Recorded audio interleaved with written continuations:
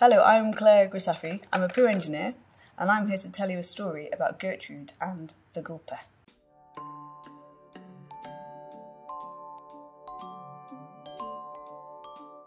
The storm clouds were black, the rain flooded down, so we stayed in the house. We stayed in with a frown. We sat there so bored looking out the window. We sat there so bored, oh how we felt low.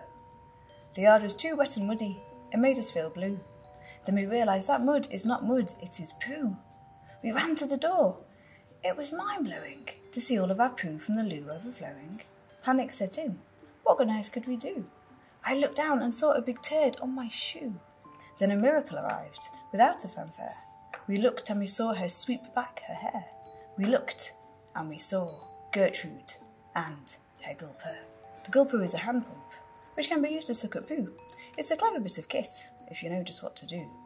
Gertrude rode into our yard on a huge motorbike, her gulper behind on an emblazoned trike. An iridescent boiler suit and shimmering cape. She was a real superhero. We were agape. Gertrude said, Have no fear, I'll empty this tank. We were so glad because it really stank. Gertrude set to work sucking up all the poo, but then came a crash and a bang and ooh. We thought in a flash of what we had put down the loo, like nappies and nails, not just paper and poo. The gulper wheezed, and, even with her super strength, Gertrude could not contain the rising stench. We ran to help, but Gertrude said no. Protect yourself first, think before you go. We grabbed wellies and gloves and big safety specs, then set out into the yard, ready to flex.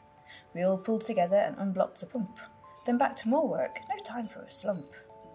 We cleared up the mess, we worked till we were done. Neighbours urged us on, and the sun shone.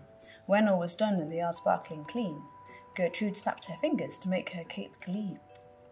Then she turned and said, with a smile on her face, Sanitation workers keep us all safe. They might not each have a sparkling cape, but they're all superheroes, make no mistake.